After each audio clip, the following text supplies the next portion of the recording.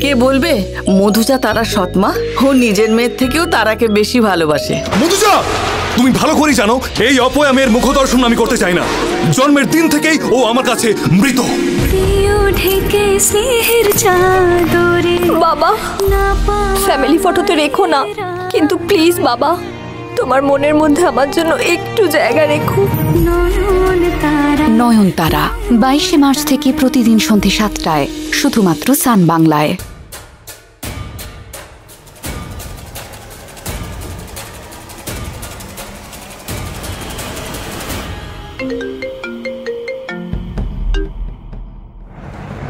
Mister Bose বলছেন? হুম। Mister Bose আমি ভোরের আলোর থেকে ডক্টর সমাদ্দার বলছি। সেদিন কার্ড দিয়েছিলেন আপনি?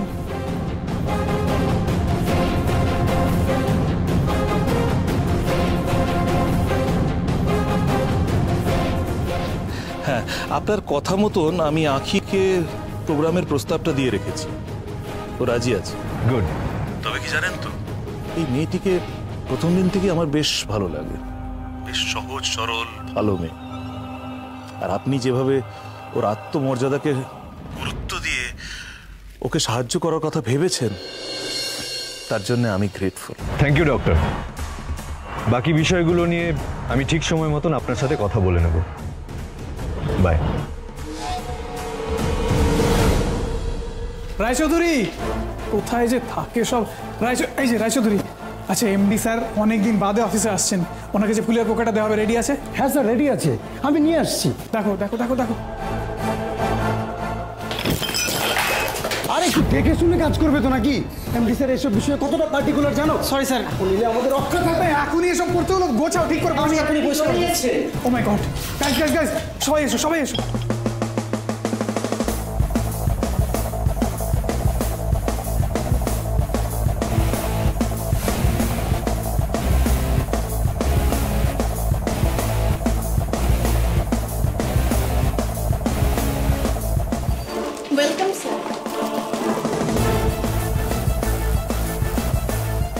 Kanjilal, right? Yes. Good morning. Good morning, sir.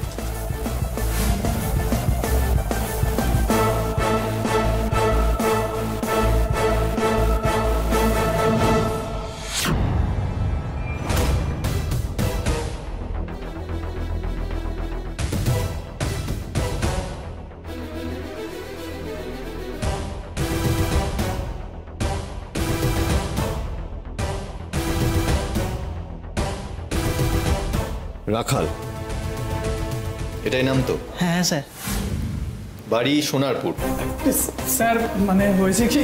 হ্যাঁ স্যার মানে আপনি মানে হ্যাঁ আমার মনে আছে সব কিছু আপনারা সবাই এত শখ কেন আমাকে দেখে? মানে are you guys not happy seeing me here good morning sir good morning good morning actually এতদিন বাদে আপনাকে অফিসে দেখে আমাদের এত ভালো লাগছে। ইনফ্যাক্ট ইনফ্যাক্ট আমার খুব ভালো লাগছে আপনাদের সবাইকে এতদিন পর দেখে। Trust me what are we waiting for let's head for a meeting কাম কি হলো কি ছেলেটার কোন ম্যাজিক কেমন বদলে গেল? প্রেমে পড়ল নাকি?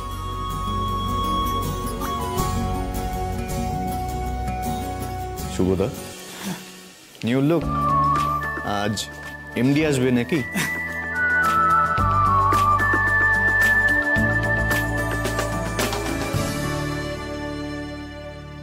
মা? মা? কি হয়েছে আখি? ডাকছিস কেন? এটা কি?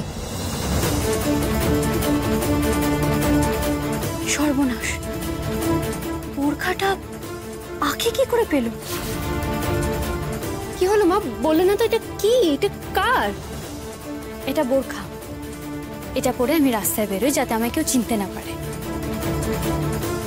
মানে? তুই না আখি? সত্যি মাথায় এতটুকু বুদ্ধি নেই। এটা আমাকে সেলাইয়ের জন্য দিয়েছিল। কিচ্ছু বুঝিস না তুই। ও তাই ভাবছি এটা আবার এখানে কেন আসবে? আচ্ছা মা, তুমি আমায় না বলে ওই গয়নাগুলো বিক্রি করে কিন্তু খুব ভুল করেছ। আমি জানি তোমার দিদানের জন্য টেনশন হচ্ছে, কিন্তু আমারও তো দিদানের প্রতি একটা দায়িত্ব আছে, বলো। আমিও তো চাকরি করছি চাকরি? চাকরি পাবে কোথা থেকে? মা তুমি আমায় ক্ষমা করো মা। দিদানকে সুস্থ করার জন্য তোমায় আমায় এত মিথ্যা কথা বলতে হচ্ছে। আমার খুব কষ্ট হচ্ছে মা। কিরে কিছু বলছিস না কেন?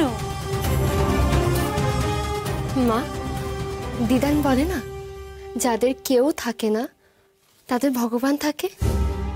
এটা কিন্তু একদম ঠিক। দিদানের হসপিটালের যে ডক্টর আঙ্কেল আছেন না উনি একদিন কথায় কথায় আমাদের প্রবলেমটা জানতে পেরেছিলেন। তো উনি নিজে থেকেই আমার একদিন বললেন যে ওনার পক্ষে যদি সম্ভব হয় উনি নিজেই আমার একটা চাকরি জোগাড় করে দেবেন। বাহ! এমন লোকও আছে আজকাল। থাকবে না কেন মা? সবাই তো আর ওই প্রশান্ত সাপুয়ের মতো হয় না। আচ্ছা মা আমি যদি চাকরিটা পাই তাহলে আমি একটা আগাম লোন নিতে পারব বলো? তখন তোমার ওই গয়নাগুলো আমি ফেরত নিয়ে আসতে পারব। হ্যাঁ আখি। কিন্তু কিন্তু আখি রানিমার অপারেশনের তো অনেকগুলো টাকা লাগবে রে। আর তোর ওই টাকার উপরে তো শুধু আমরা ভরসা করে থাকতে পারব না। দেখিস আমার গয়না বিক্রির টাকাটাও কাজে লাগবে। না মা তোমার মেয়েকে তুমি এতটাও বাচ্চা মনে করো না। আমি কিছুতেই তোমার গয়না বিক্রির টাকা খরচ হতে দেবো না।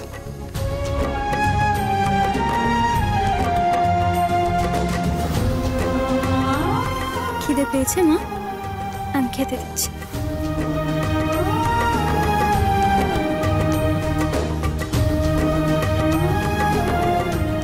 হ্যাঁ রে, সিট কেমন আছে রে? সিট ভালো আছে, মা। সত্যি। খুব ভালো ছেলেটা। কি সুন্দর পরিষ্কার করে ডাল, ভাত, মাছের ঝোল খেয়েছে। খুব সরল ছেলেটা। সাধারণ। আর তাছাড়া ওরও তো একটা নিজস্ব লড়াই আছে। অন্যের বাড়িতে থাকছে, পড়াশোনা করছে, চাকরির চেষ্টাও করছে। তাই না?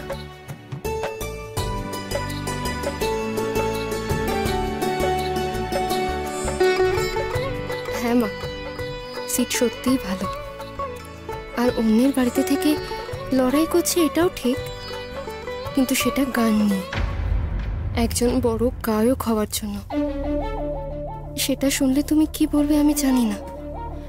তাই তোমায় সে কথা বলার সাহসও আমার নেই।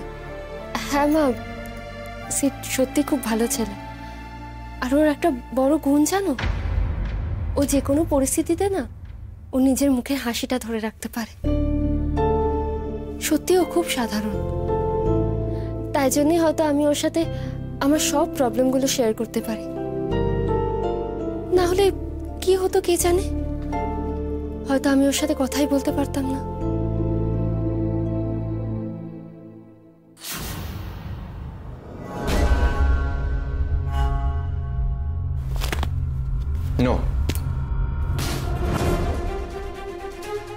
nothing new nothing special sir এটা রায়ান গাঙ্গুলির প্রপোজাল ওরা এখানে আনএক্সপ্লোর্ড লোকেশনগুলোতে ট্যুরিজম ডেভেলপমেন্ট করতে চাইছে। Like resorts hotels nature park water park এইসব। ল্যান্ড কোথা থেকে পাওয়া যাবে? জমি কোথা থেকে আসবে? জমি তো নেচার নেচারকে হার্ম করে এই ট্যুরিজম ডেভেলপমেন্ট হচ্ছে কি হচ্ছে না, সেটা তো কোথাও মেনশন করা নেই এখানে। গাছ কেটে, নদী আটকে, সমুদ্রকে ডিস্টার্ব করে ট্যুরিজম ডেভেলপমেন্ট হচ্ছে।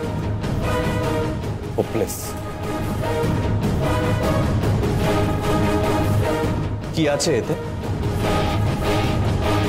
অঙ্ক। টাকা পয়সার হিসেব। Profit and loss companies turn over and bank guarantee apart from that is there anything else এই তিস্তা গ্রুপ অফ কোম্পানিজ অন্য কোম্পানিদের তুলনায় কোথায় আলাদা? বা তারা কি আলাদা হতে চায়?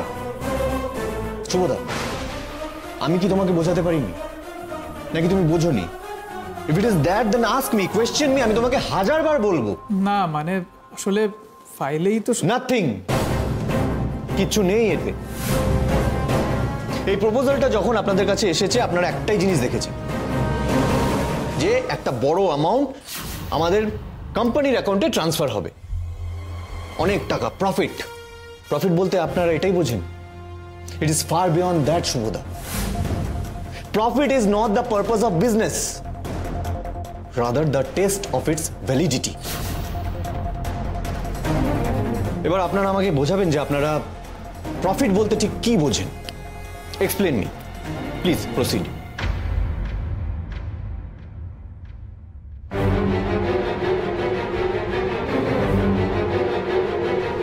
চুপ করে থাকবেন না। I am waiting ladies and gentleman speak out sir profit মানে হলো আমি যা ইনভেস্ট করেছি তার থেকে বেশি আমার কাছে ফিরে আসা।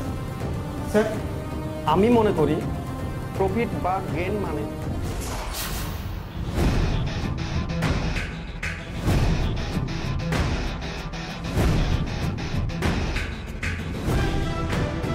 স্যার প্রফিট মানে হলো আমার মেধা আমার বুদ্ধি আমার পরিশ্রম এই সব কিছুর মূল্য ঠিকঠাক বুঝে নেওয়া।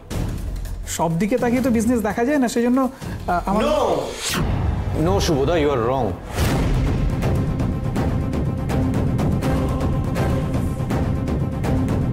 ভুলটা কিন্তু ওই ফাইলে নয়। ভুলটা হলো আপনাদের মাথায় আপনাদের ভাবনায় এবং আপনাদের ধারণায়। এই প্রপোজালটা যখন আমাদের কোম্পানির কাছে এসেছে আপনারা সবাই একটাই পয়েন্ট অফ ভিউ থেকে এই তিস্তা গ্রুপ অফ কোম্পানিজকে জাজ করেছেন। And that is profit actually আপনি ঠিক কি বলতে চাইছেন আমাদের কারোর কাছে ক্লিয়ার হচ্ছে না। যদি একটু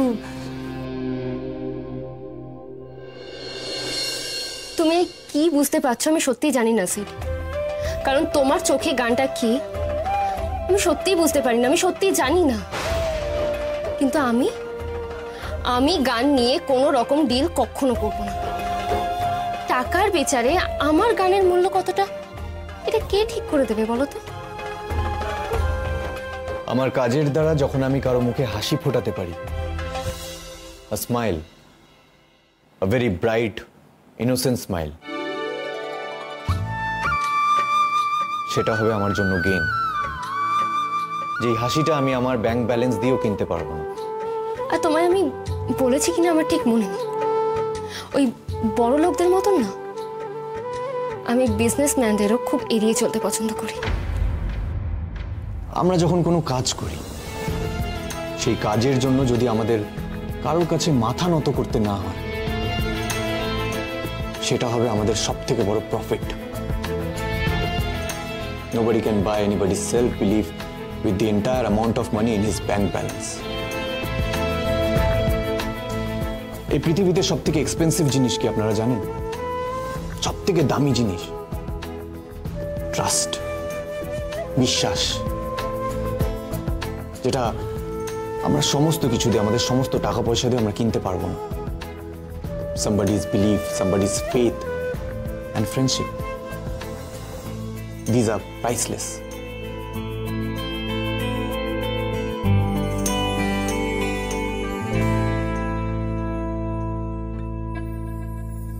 কে এটা?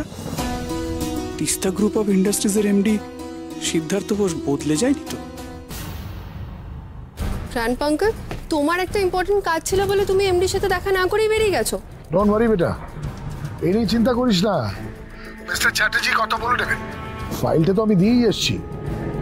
ওদের এমডি একবার দেখে নেবে আর আমার মনে হয় নাইনটি নাইন পার্সেন্ট অ্যাপ্রুভ হয়েই যাবে কোনো চিন্তা নেই। আই জাস্ট হোপ এই ডিলটা যেন ক্র্যাক হয়ে যায়।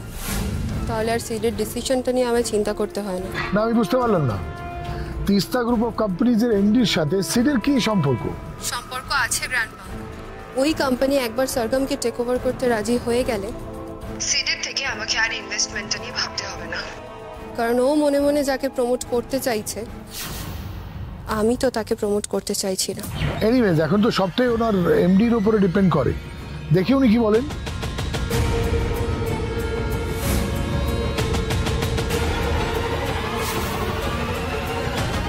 ফাইনাল ডিসিশনটা আমিই নেব। কিন্তু তার আগে একটা ইম্পর্টেন্ট কথা। আপনারা কি আমার কথা অন্ধের মতন বিশ্বাস করছেন? নাকি আমি যা বলছি সেটা মন থেকে মেনে নিয়ে বিশ্বাস করছেন? এটার উপরে কিন্তু আমাদের কোম্পানির প্রোগ্রেস ডিপেন্ড করছে।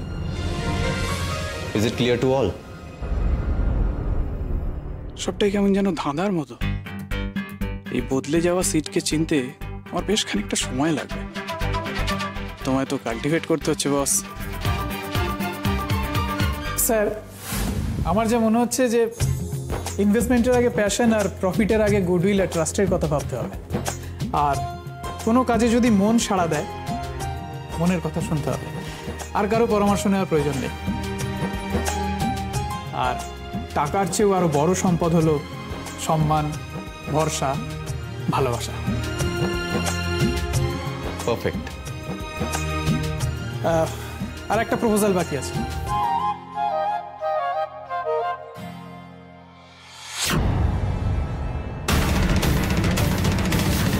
দেখি সরগম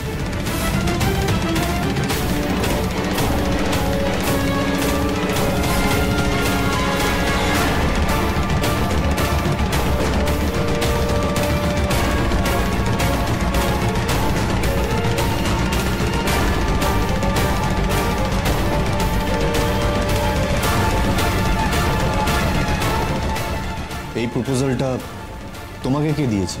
One of the partners mister Sam ওরা কোম্পানি শেয়ার বিক্রি করবে বলে খুব ডেসপারেট আমাকে বারবার কল করছেন। Set don't you have any solution for me দেখো সামান্য কটা টাকারই তো বিষয়। তুমি আমার বন্ধু হয়ে কি আমার এই সামান্য স্বপ্নটাকে বাঁচাতে পারবে না? কিছু অনলাইন অডিশনস এসছে তুমি একবার জাস্ট গো থ্রু করে নাও। এটা কি করে সম্ভব? এই তো রাগিনী সেদিনই বলল। ও মিউজিক নিয়ে বিজনেস করতে চায়। ওদের কোম্পানিকে আবার আগের জায়গায় নিয়ে যেতে চায়। তাহলে শেয়ার বেচতে রাজি হলো কেন? তুমি ডেস্টিনিতে বিশ্বাস করো? না আমি মনে করি everything is in your hand তুমি বস গ্রেট সত্যি যা লিখে দিয়েছ তার এক পা এদিক ওদিক হবার নেই। অল ইজ ডেস্টিনি তোমার এই ফার্স্ট অ্যালবামে তুমি আখিকে চান্স দিচ্ছ না কেন? সরগমের মতন একটা এত বড় মিউজিক কোম্পানি যেখানে আমি যাকে তাকে কি করে চান্স দিয়ে দিই বলো তো? আমি শুধু তোমার জন্য সরগম কোম্পানিকে টেক ওভার করব আখি। ডিলটা final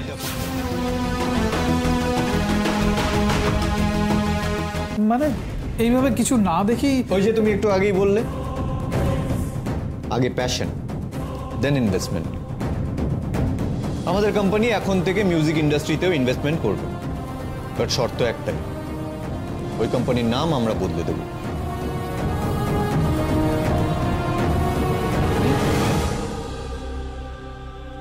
Fine then we are done for the day see you all soon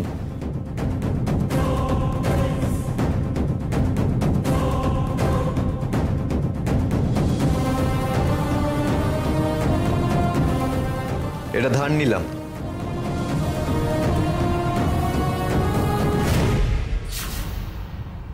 জানি সবাই এই বদলে যাওয়া সিদ্ধার্থ বোসকে দেখে চমকে গেছে।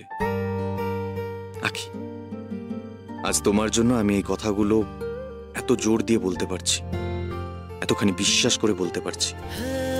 তুমি আমায় বদলে দিয়েছ। Thank you Akhi. Thank you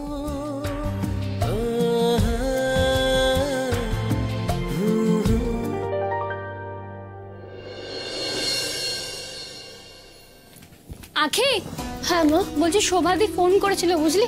কোনো একটা কারণের জন্য আসতে পারবে না। আমি এই কাপড়গুলো দিয়ে আসি আর নতুন কাপড় নিয়ে আসি। ঠিক আছে। দেবটা দে। আমি বেরোলাম হ্যাঁ হ্যাঁ তুই দরজাটা বন্ধ করে দে।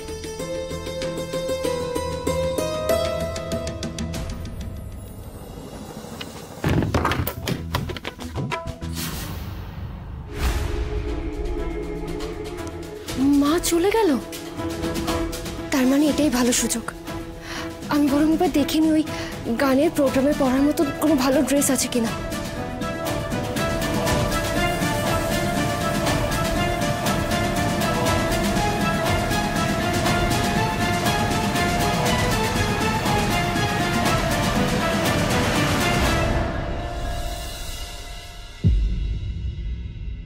একটাও ভালো জমা নেই।